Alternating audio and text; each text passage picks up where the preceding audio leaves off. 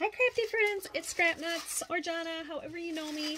We are on entry number two on the Scrapnutzz 2K challenge and giveaway um, I'm doing over on Instagram and also YouTube. So if you've been following along, we are on number two. We've got lots to go, so hang in there.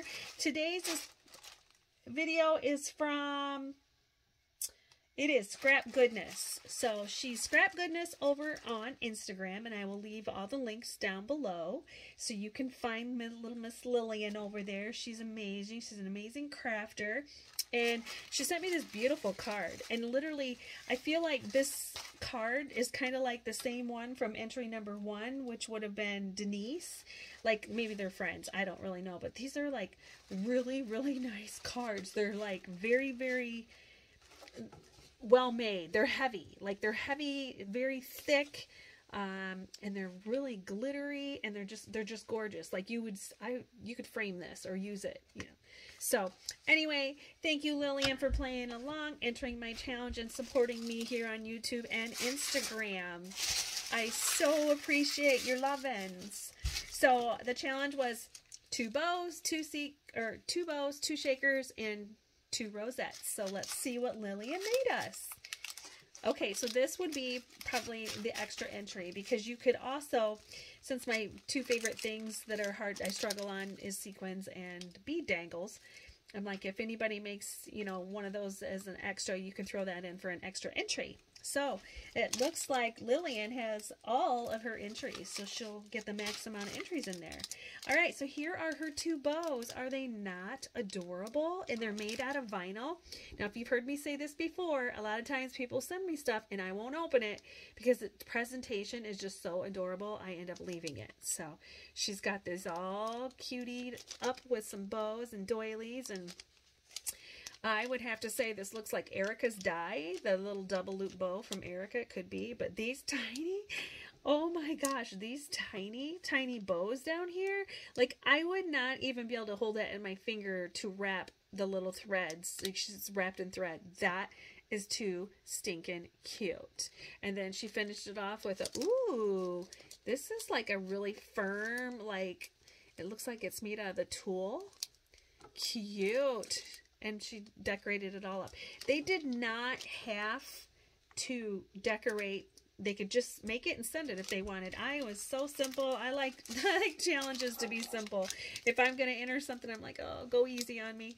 So, because I get too distracted with all the rules and then I I think I get too crazy. Then I'm like, oh my gosh, what was I supposed to be making? Because, yeah. So anyway, I tried to make it as simple as possible. I said decorate it however you want.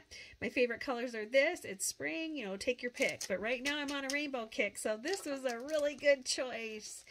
Thank you so much, Lillian.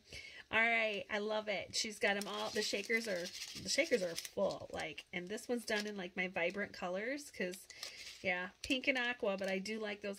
This is a cute, a cute mix that she's got going in there. There's like a million different little things in there. So super cute. But I do love the bright colors.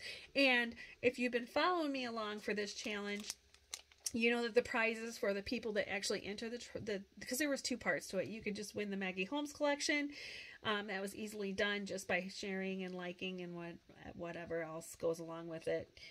And then, uh, but if you wanted to go the extra mile and do the challenge part, you got that entry plus you got um, a chance to win two prizes. And if you've been following, you know that I used really bright colors on on it. Went with a crafty girl theme. So thank you so much, Lillian. These are adorable. I love them.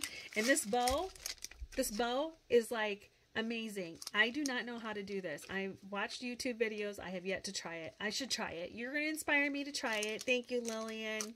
It's adorable. So not only did you send two bows, which was part of the challenge, but she has decorated everything with bows. So look at all the extra bows that you have. And those are really cute. That is made out of the really chunky glitter, too, with a double loop bow. Super cute. And I love this rosette. I do not have this die. Like, I don't have a rosette that cuts this. So that is super, super cute. And this is a nice summery color. So I'm struggling because I'm ready to move on, but I got some stuff on my desk. I need to finish. So, all right. And then this is her extra entry for, um, it's the dangle and tassels. Got the bead dangles and because I struggle. Gosh, I don't know what it is. It takes me like an hour to put two beads on a wire. Like, really, what is that?